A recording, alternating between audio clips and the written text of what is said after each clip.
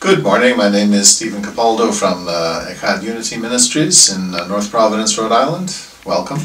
It's Saturday, January 30th, 2016, and it's a nice day here in North Providence. Um, thank you for tuning in. Uh, today I'll be talking about uh, God's Word, um, God's Word of absolute righteousness, and contra- contrasting it with you know where we came from as you know being under the law, and now we're under God's God's Word of absolute righteousness, and, and I'll talk a little bit about what that is, and and what it isn't, and. Uh, we'll do a message like that. So before we begin, uh, thank you, Father, for uh, for this day and the possibility of, uh, of filming and coming forth with a message, and may it be a blessing and an edification to those who will hear it. In the name of our Lord and Savior Jesus Christ, Amen. So I'll begin by uh, going to Romans. Uh, chapter 7 verse 7 and read a few verses there and then just just get into kind of a discussion of uh, you know what what the, the, the, law was and how it contrasts with uh, God's word of absolute righteousness. I, I don't want to call it God's law of absolute righteousness because I don't want there to be any confusion with Mosaic law. Mosaic law we're not under, but God's word, yes, we are under God's word. But uh, word and law, you know, it's the same Greek word logos, you know, so sometimes it causes some confusion. So I just wanted to make that point right at the beginning that there's no there, there, there's no suggestion that we're under the Mosaic law. No, that's that covenant has been satisfied by the blood of Jesus Christ. But we are under God's word of absolute righteousness. So Romans chapter 7, verse 7, what shall we say then? Is the law sin?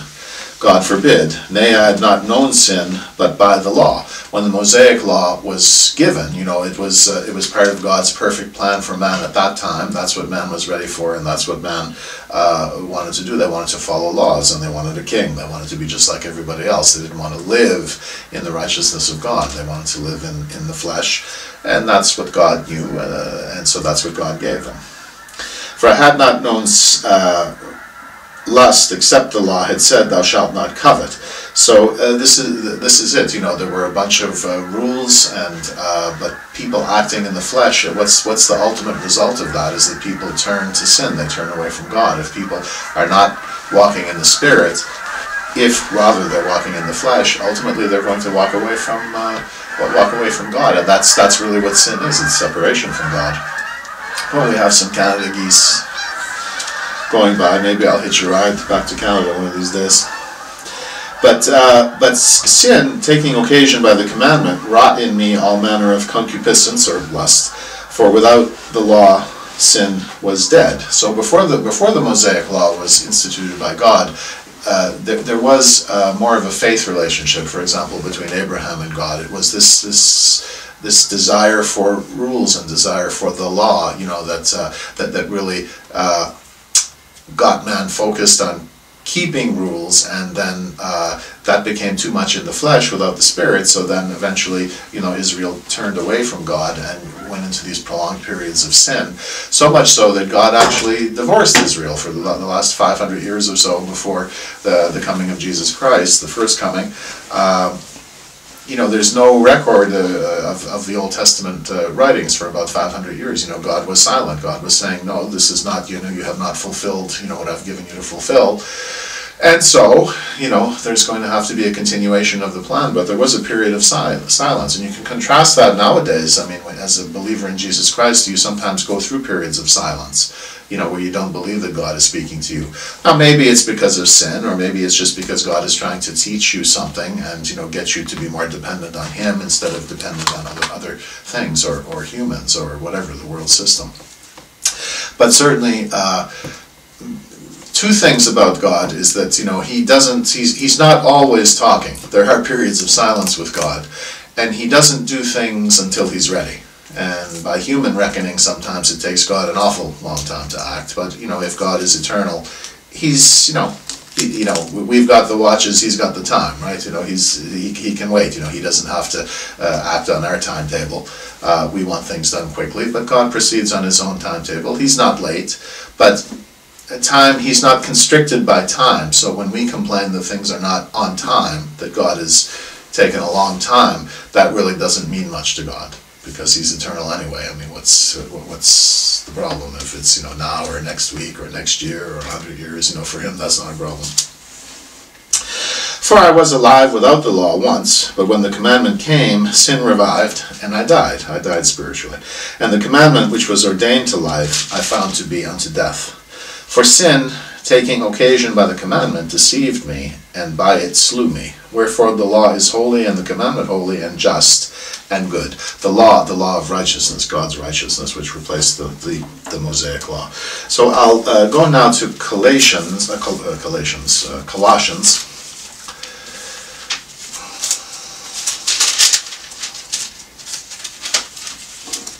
Uh, chapter 2, and I'll, I'll read a few verses there.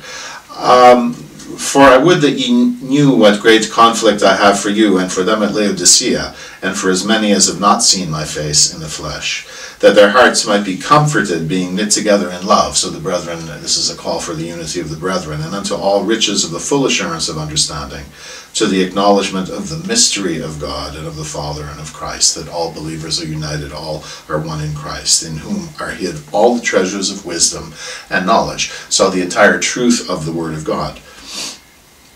And this I say, lest any man should beguile you with enticing words. And this is something that we, we have to be very careful of, is the, the enticing words, because we hear a lot of things, especially now, and uh, to have the discernment to know that something is truly of God, and something is truth and not error, and, and you know, and it's not sin and it's not evil, but it truly is of God.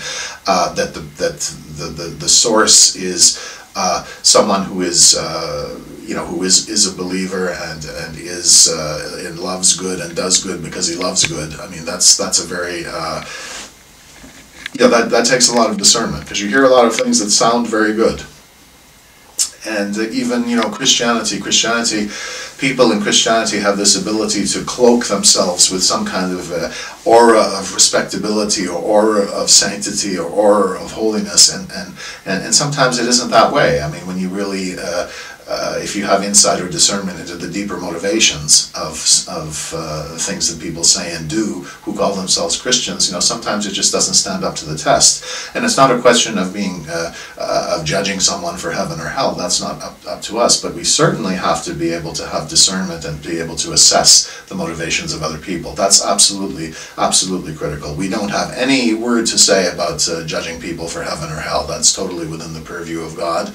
And, you know, we try to give the information, uh, you know, what, what to do for eternal life, but really it's between the individual and God, you know, and it's, uh, you know, we, we believe, and, you know, in our ministry, we believe that uh, it's, it's not believable if you're truly saved. It's not believable that you, you would never bear any fruit, or you know, you, it's it's not believable. Why would God save you for a life that involved no no service, no fruits uh, you know, not not involve you in this in the lifestyle you were involved with before. To us, it's it's it's not logical. At the same time, it's not up to us to say that someone is saved or not saved. But uh, if you are truly saved, then you will bear fruit. And you know you'll stumble once in a while. You may stumble for a season, maybe even a long season, but you repent, you know, and you you come back. But it's not the the the, the fruitless life. Um, it's hard to believe that you've renewed the mind and you're transformed if you lead a totally fruitless life. But anyway, that's up to the individual. That's between uh, that's between the individual and God. I think we just have to kind of liberate ourselves of all kind of you know legalistic arguments and semantic games and this type of thing. We just have to focus on uh, the Word of God as much as possible and, and tell truth, speak truth as much as possible. And uh, for though I be absent in the flesh, yet am I with you in the spirit, joying and beholding your order and the steadfastness of your faith in Christ. This is Paul saying to Colossae. As ye therefore received Christ Jesus the Lord, so walk ye in him. The, the walking in him, the everyday, the everyday journey of faith, the everyday dedication to the things of God, to the Word of God, to applying the Word of God, to bearing fruit, uh, really to this whole, to, the, to, to God's absolute righteousness. Because really, Jesus Christ went to the cross to show the absolute righteousness of God in the, in the uh, trial between God and Satan. That's really, he went to the cross to show his absolute righteousness, which then freed uh, the flesh, freed our flesh from the need to commit sin, from the need to be separate from God. So this is really the, the, the biggest lesson of the cross. And now, once we believed in Jesus Christ, that he's the Son of God and that he was, uh, you know, he died and was buried and resurrected on the third day, then really we are submitted to his absolute righteousness. And um, this absolute righteousness is uh, something that has characteristics. The absolute righteousness of God, it's, it's, uh, it's an expectation of a certain lifestyle. And um, you know, I don't, I don't want to call it laws and rules because then we're going to get into that whole, you know, the tapes are going to start turning and, you know, it's legalism and it's works and it's this and that and we don't want to get into that. But, but certainly God is absolute righteousness. And if he is absolute righteousness, then of his children, he does have expectations. He would expect that if you're born again and saved and you've accepted his absolute righteousness, that you, you, you live a certain way, you think a certain way, the mind is renewed, you're transformed, that, that that's going to happen that if you are truly saved, this will happen. And so some of the characteristics of this absolute righteousness would be uh, love, obviously, and you, you know you can read to get some of the specific characteristics of love. You can read 1 Corinthians 13, but it's uh, lo- love is just uh, it's uh, it's it's God's character, it's God's integrity, it's the way God is. He, he loves. Now sometimes love is is difficult. It's a difficult thing to uh, to, to, to bring forth to someone because it's it seems a little bit harsh to humans. Humans are kind of used to thinking of love as as uh, uh, is something kind of emotional and uh, even sometimes it can be a little bit syrupy sweet and, and not real. But uh, God's love is both. God's love is both uh, uh, tough and soft. It's, it's tender and merciful and compassionate, but it's also you know candid, frank, straightforward, truthful, and you know maybe saying some things that people don't want to hear. And uh, joy, that's part of his righteousness, is that the happiness of God in all circumstances, that um, God says we will have momentary light afflictions, but He does say that uh, that we are to have joy, not a silly smile plastered on our face. That's not joy. Joy is is simply that the the the happiness of knowing that Jesus Christ is in is in charge of your life is that you've, you've given your life unto him you've submitted yourself to his absolute righteousness and, and you want to reflect his love to a lost and dying world. And, and you, you want to be available to souls, you know, souls uh, for them to accept Jesus Christ, the Son of God, and, and then to help them get started in the life, the, the, the life of a disciple of Jesus Christ, the, the transforming and the renewal of the mind that, that leads to the fruit of the Spirit. Uh, peace, prosperity, uh, mercy, and uh, another uh, thing that's part of the justice of God is uh, obviously grace is part of the justice of uh, is part of the righteousness of God, but uh, justice is also uh, part of the righteousness of God. Is that God does demand uh, justice? He he he. Uh, his will has to be done, and th- there is this decision that you have to make in life that you accept or you don't accept Jesus Christ. Um, and sometimes people ask, well, what does that have to do with grace?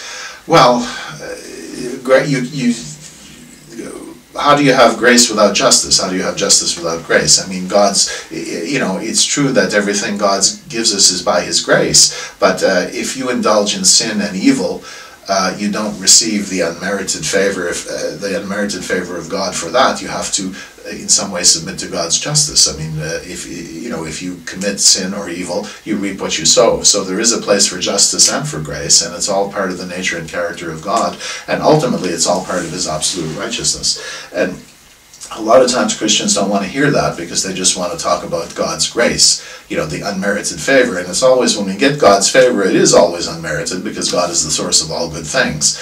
Uh, but when we indulge in a lifestyle or activities that are contrary to God, we, we can hardly expect that God is going to pour out favor on us for that. No, you, you, you he, his, his justice comes at, at that point. Uh, we, we reap what we sow. You know, there's that side of it as well. And so absolute righteousness also uh, involves uh, giving and service and um, just being considerate of other people. I mean, that's really the, the, that's really the point. Is that when you uh, when you have lost uh, um, a love of the things of the world and you focus on your love for God and you really love the things of God and you you know you put the things of the world second you know, behind your love for God, your love for God takes precedence, then then really uh, giving and service, uh, th- th- this becomes kind of the goal of your life. That you're more considerate of other people, and and you know you're wondering what you can do to help other people, and uh, you don't want to be taken advantage of by other people. You need you need to weigh that and balance that with discernment, obviously. But really, the giving and serving should become the focus of the person who truly has has. Uh, um, you know, accepted the righteousness of God and uh, accepted His love and grace and mercy. And you know, sometimes we want to accept the good things, but or what we think are the good things, but the things that are kind of you know obligations or require a bit of an effort, you know, uh, we, we, we want to look at that as you know not really being of being uh, under God's grace, but everything we get from God is from His grace. Even if you get discipline or punishment or justice for something, it's because God God is gracious. God is showing grace maybe to the victims of the people that you've used and abused. God is showing grace to you to let you know that. Uh, you know, he he has to do certain things to discipline you. He disciplines his own children. We know that from the scripture. Uh, because you know he has a standard. He has a, he has a standard. He has a standard of righteousness, and if you fall short of that standard of righteousness, then as a child of God, as a born again believer, you can expect uh, some kind of discipline. And if it just goes on and on and on, you might even get a trip home early. You know, he may take you home early. I mean, that's a possibility too for a believer if if uh, you know in order to protect that believer from the, the, the ravages of, of, of living without God, you know, even though the person has been saved. So, as ye have therefore received Christ Jesus the Lord, so walk ye in him, rooted and built up in him, and established in the faith as you've been taught, abounding therein with thanksgiving. And this is really the foundation, I would say, of our prayer life. God knows what we need before we pray it. So the point is not that we're telling things uh, to God that He doesn't already know. He knows what we need before we say what we need. But He wants us to communicate with Him. That's part of the communication back and forth. And the, the big thing uh, in, in prayer is to show thanksgiving and, and to intercede for others. Of course, we can petition for ourselves, but it's a question of priorities. If you're really submitted to the righteousness of God and to the principles of His character and integrity, then when you pray, prayers are really not about whether you're sitting, standing, kneeling, lying down, not about whether your eyes are open or closed. Uh, you know, this is not about stuff like that.